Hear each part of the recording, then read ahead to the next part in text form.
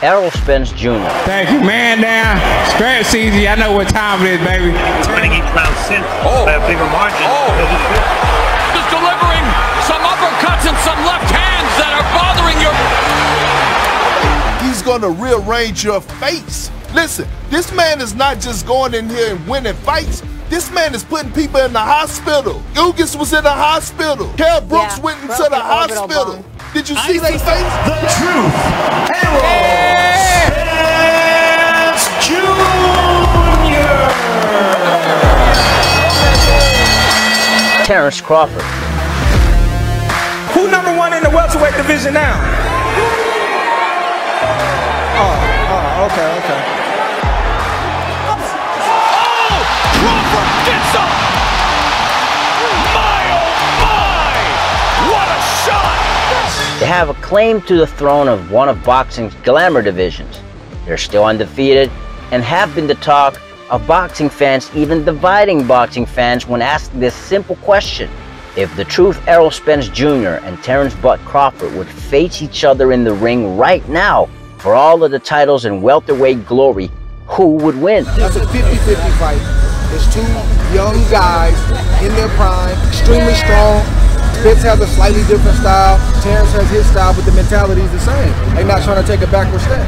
They're not trying to give up no ground. And both fighters genuinely believe they can beat the other person. Hey Ringsiders, what is going on? This is your host, Boxing's Objective Observer, and welcome back to Ringside Stories. Feel free to subscribe, thumbs up, and hit that notification bell for the latest day on Ringside Stories. Thanks so much for your support in advance and welcome to the channel. Errol Spence Jr. lays claim as the top dog in the 147-pound division, coming fresh off a win over Yordenis Ugas, adding the WBA super title to his WBC and IBF World Welterweight straps. Everybody know who I want next. I want Terence Crawford next.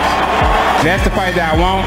That's the fight everybody else want. Like I said, I'm gonna get these straps and I'm gonna go over there and take it too. A call out that will ring bells to those who cherish the sport of boxing. I, I really don't even want to talk about it. I don't want to talk about it. Perfect. All right. Well, yeah, some fights we shouldn't try to predict.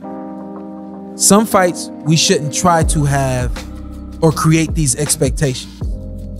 Some fights that we know are great, we should just allow those fights to be great and enjoy them and then talk about them afterwards. That's why you here in boxing, right? Because the people, for the people, fight for the people, fight for you and when the people want to see one fight is important. I think Spence, he got the work rate, he got the power, he's the naturally bigger man, he's a naturally stronger man. Now, Crawford can box, he can box, beautiful boxer. I hate to go against him, but I just think Spence is the, Spence got this one. I think I said 11 round to my buddy. I said 11 round. I'm going Terence Crawford knockout. I just think that uh, he just has more. He has more more to him, man. You know, switch southpaw, right-handed, hit punch uh, supreme accuracy and timing.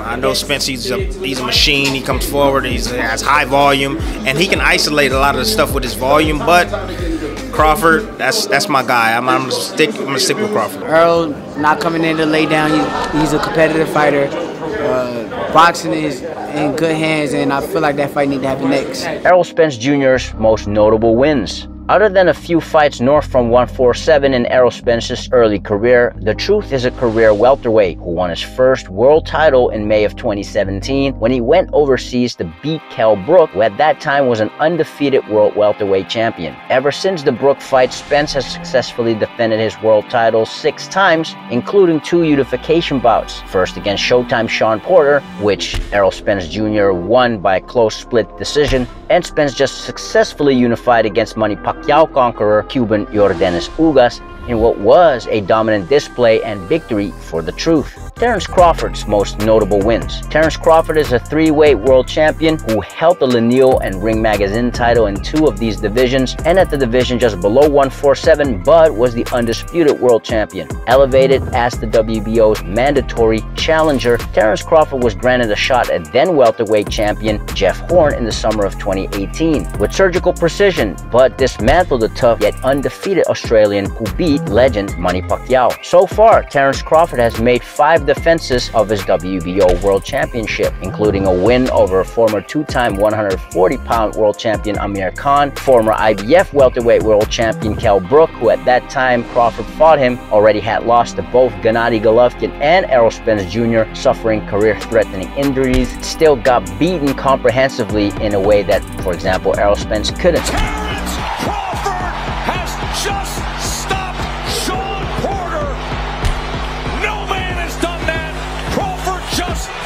And Terence Crawford recorded his best win at welterweight in late November of 2021, stopping another common Spence opponent in Shawn Porter. Not only did he answer many questions, but also pushed the envelope for a potential fight with Errol Spence Jr., who sat ringside. Errol Spence was right there watching this fight.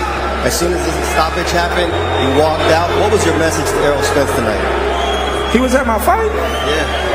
Now that boy said he wasn't gonna never be at my fights, but now he at my fights. Bob couldn't secure me the Spence fight when I was with him. So how you gonna secure me the Spence fight when I'm not with him? So I'm moving forward with my career right now, and I wish everybody the best. Try to get the Crawford fight done. So that's the main priority. That's the main goal. Errol Spence Jr.'s attributes.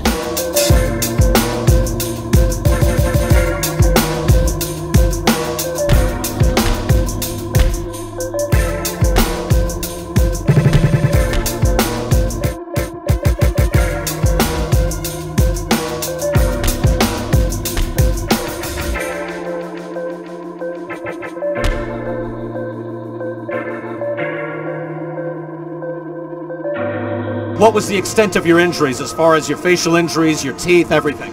Um, I really was just sore. Like my whole body was just sore. You know, it was just a, you know, I guess a miracle from God.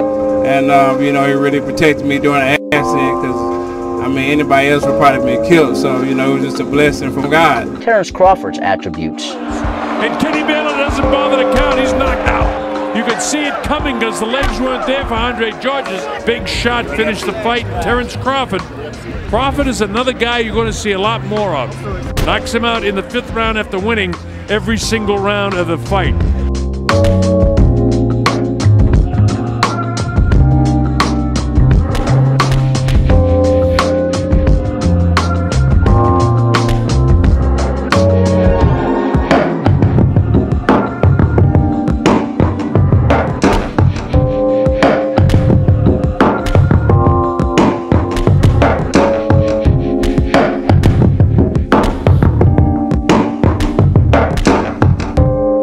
Historical significance.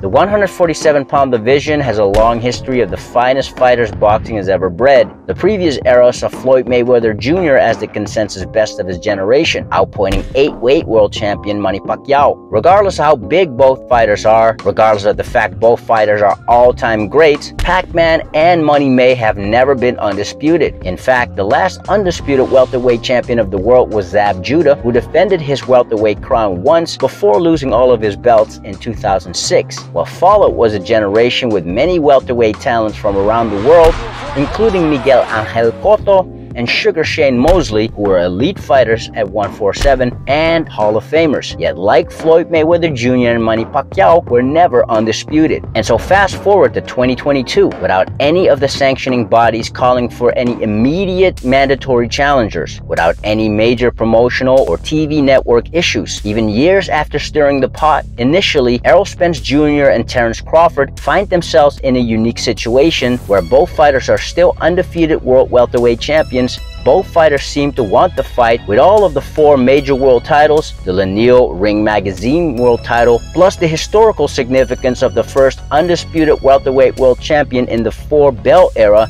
in play. But as with every major fight for undisputed, there's always a small window of opportunity to get the actual fight over the line. It is the division's biggest fight to make, which makes the most sense for both fighters since everyone seems to want the fight. So if the fight for the undisputed welterweight world championship happens next between the truth, Errol Spence Jr., and Terence Bud Crawford, who are you picking? Let us know in the comments below.